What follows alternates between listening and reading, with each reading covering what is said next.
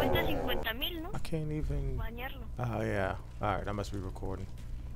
Everybody quiet. okay, not having it in the Game Caviar studio. Sí, sí. I'm rocking out on some Black Ops. I got the uh, Uzi. Le. Is it the porque Uzi or the mini Uzi? Maybe it's just the Uzi. I don't know. I'm rocking the Uzi. I'm on Zoo. Whoa, whoa, whoa! That guy's up there camping.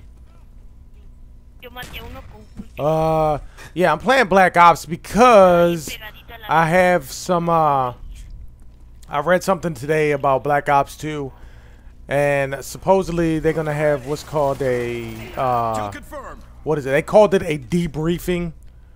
I'm gonna be nice and revive you. Holla.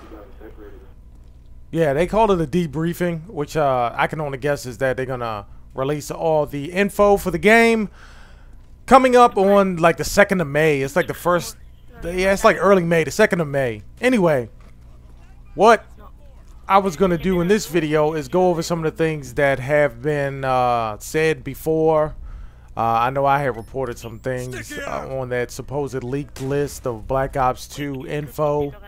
Uh, and some other things that I would like to see, definitely. Uh, of course, the removal of lag compensation, the addition of dedicated servers, things that aren't going to happen, you know. I would absolutely, positively be shocked the if air. they're like, first of all, first of all, you know how, I mean, if they have like a, let's say it's a video, let's say they hold a press conference. They're like, okay, first and foremost, we know Kill we've been screwing confirmed. up, and we're gonna fix that. All right. First thing, dedicated servers all day, every day. Le matan, la- le doy en la mera. Second of all, we understand that lag compensation has been pissing people off, so we're gonna take that out of the game too. I would be completely shocked. Is it gonna happen? Vale. Nah, I'd bet money on it not happening. Boom. I said it. So. Anyway, the uh the list that I had wasn't bad. Golly, man, come on. The list that I had wasn't bad.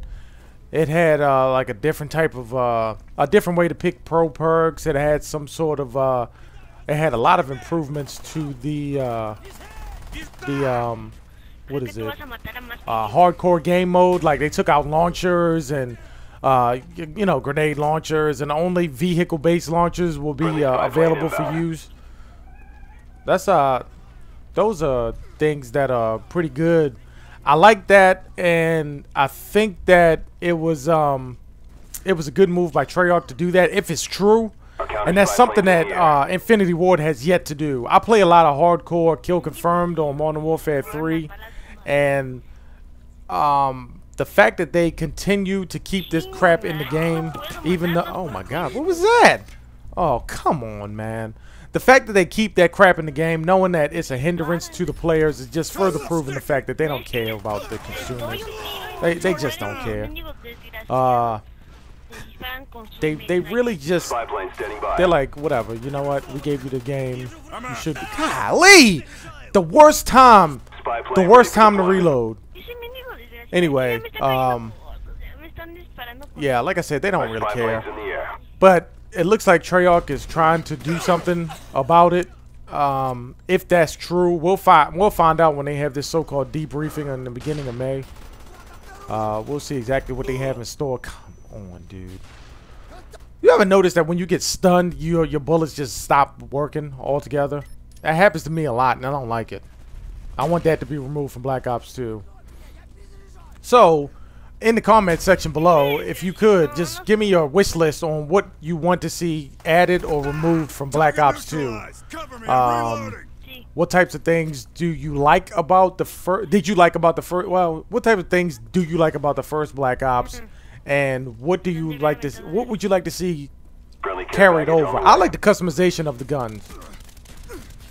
Are you Spy standing by. Everybody died just now. care package inbound. Me, the guy who shot me, the guy I shot, and then somebody else that wasn't completely in the mix. Counter spy plane Anyway, up to the blind. um, yeah, what types of things do you like? I said, I was like, I like the com- the customization of the guns. The customization of the guns is pretty awesome. Uh, the way you can put your logo or your clan tag and everything like that. That's pretty awesome. Um, I really don't care for the customization of the people. They did say they uh, you will have more customization choices for your player and the the perk that you use didn't wouldn't necessarily um Seguimos ahí plantados. control what the player looks like. So Reload. that Jesus Christ, come on, man. That would uh deployment.